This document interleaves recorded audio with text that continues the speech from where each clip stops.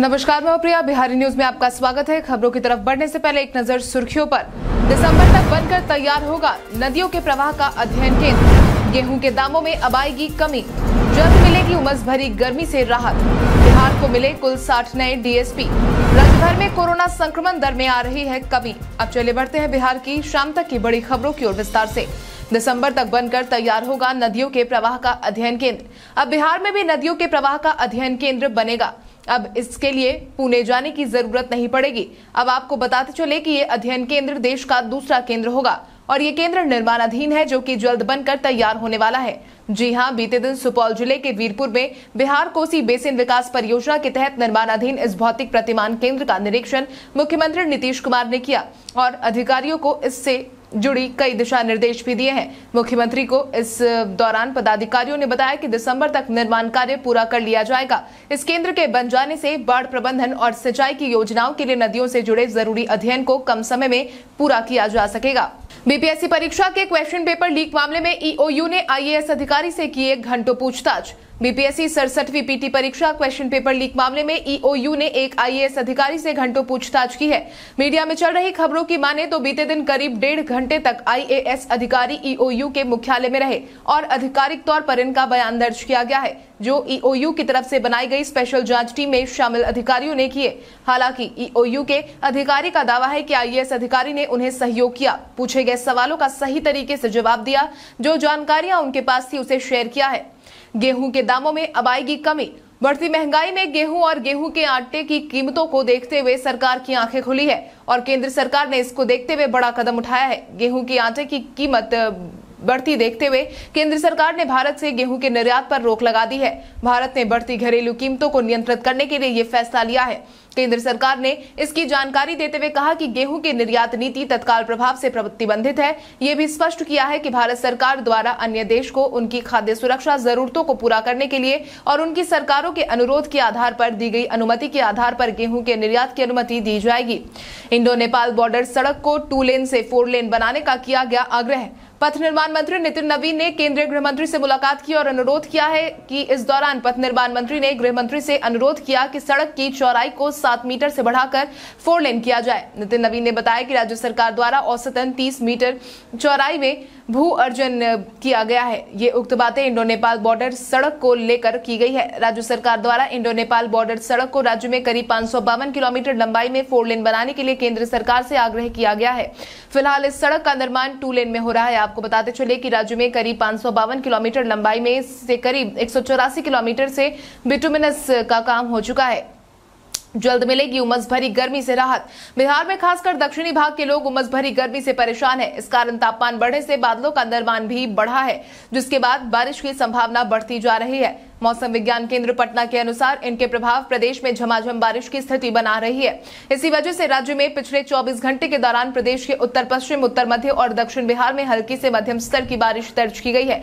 इसके साथ ही कुछ स्थानों पर 40 से 50 किलोमीटर प्रति घंटा की रफ्तार से हवा चली। मौसम विभाग की माने तो चौदह से अठारह मई तक उत्तर बिहार के जिलों में आसमान में हल्के बादल छाए रह सकते हैं। एक से दो दिन तक मौसम में आमतौर पर शुष्क रहने की संभावना भी बनी हुई है। किसानों की इतनी आमदनी नहीं कि वो कृषि यंत्र खरीद सके। एक आंकड़े के अनुसार बिहार के करीब छियासी प्रतिशत लोग कृषि पर निर्भर है, लेकिन किसानों की आमदनी इतनी नहीं है कि किसान किसानी करने के लिए ज़रूरत पड़ने वाले कृषि यंत्र बिना सरकारी सहायता के खरीद सके। वो पूरी तरह से यहाँ पर सरकार द्वारा कृषि यंत्र पर मिले अनुदान पर निर्भर है। यही कारण है कि राज्य सरकार ने एक साल यंत्रों पर अनुदान देना बंद किया तो कृषि यंत्रों की संख्यात्मक खरीद एक तिहाई ही रह गई और यंत्र खरीद का बाज़ार धराशाही हो गया। मालूम हो कि राज्य सरकार ने पिछले साल कृषि यंत्रों पर अनुदान देना बंद कर दिया था। इसका सीधा असर कृषि यंत्रों के बाज़ार पर पड़ा। राज्य में कृषि यंत्रों का 400 करोड़ का व्यापार सरकारी सहायता के अभाव से मात्र 20 करोड़ पर सिमट गया है। सोमवार से विश्व सरैया भवन में खुल सकेंगे कार्यालय। बिहार के सबसे बड़े कार्यालय विश्वसरैया भवन में 11 मई को सुबह सुबह भयंकर आग देखने को मिली थी, जिसको देखते ही देखते सातवीं मंजिल तक भीषण आग लग गई। जिसके बाद कई ज़रूरी दस्तावेज़ सहित कई सामान भी जलकर बर्बाद हो गए, जिसकी वजह से कार्यालय का काम भी पूरी तरीके से तीन दिन ठप रहा है। लेकिन अब इस भवन में चौथी मंजिल तक जाने को हरी झंडी मिल गई है। आपको बता दें कि पटना में भीषण आग की चपेट में आए विश्व सरैया भवन की चौथी मंजिल तक के कार्यालय सोमवार से खुल सकेंगे। आईआईटी पटना के तीन सदस्यीय विशेषज्ञों की टीम ने पूरी जाँच के बाद हरी झंडी दे दी है। वहीं सबसे अधिक नुकसान वाले ग्रामीण कार्य विभाग का काम दूसरी जगह शिफ्ट होगा।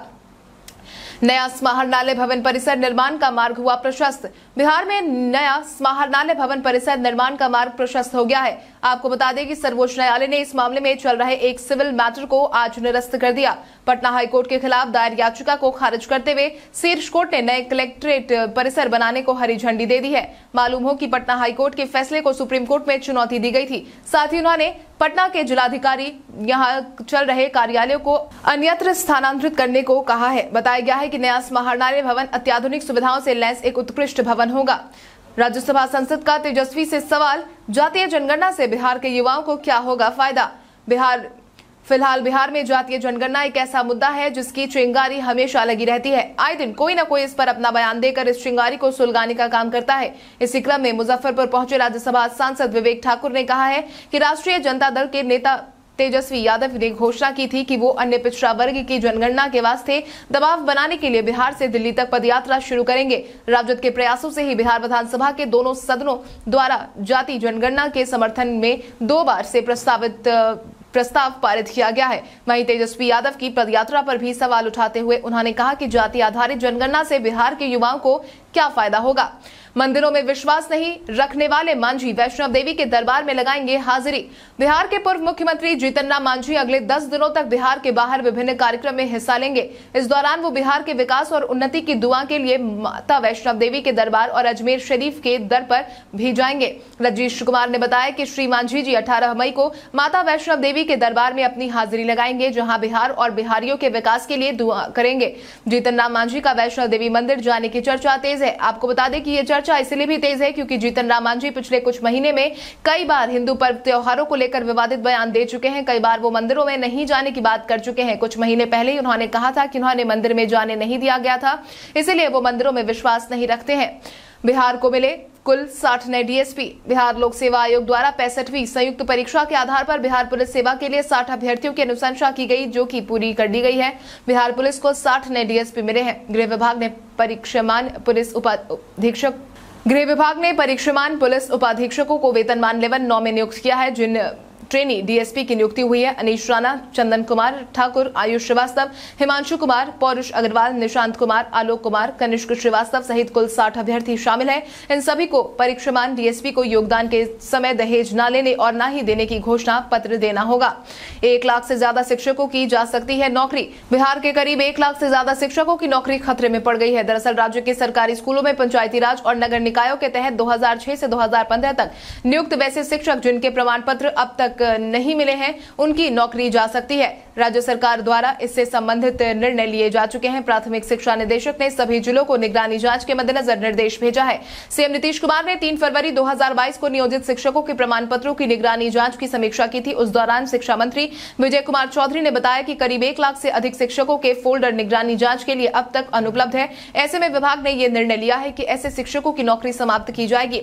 चुनाव का तीखा तंज, आप रोज़गार दे नहीं पा रहे हैं तो ऐसे मुद्दे को तुल देते हैं। मुंबई के हनुमान चालीसा का असर बिहार की सियासत पर भी पड़ रहा है। इस बीच रालोजपा अध्यक्ष चिराग पासवान ने इसको लेकर अपनी प्रतिक्रिया दी है। उन्होंने इस मुद्दे पर सरकार को घेरते हुए कहा कि मैं ध्यान भटकाने वाले मुद्दों को क्यों तुल दू? आप रोज़गार दे नहीं पा रहे हैं तो आप हिंदू मुसलमान करते हैं। आप भ्रष्टाचार मिटा नहीं पाते तो ऐसी चीज़ों को तुल देते हैं। जिनको लाउडस्पीकर पर अजान करना है, वो खुशी खुशी कर रहे हैं। जिनको हनुमान चालीसा पढ़ना है, वो पढ़ रहे हैं। मुझे लाउडस्पीकर की ज़रूरत नहीं है, मैं गाड़ी में बैठे बैठे हनुमान चालीसा पढ़ लेता हूँ। मालूम हो कि मुंबई स्थित मुख्यमंत्री उद्धव ठाकरे का बंगला मातोश्री के बाहर हनुमान चालीसा पढ़ने को लेकर विवाद शुरू हुआ था।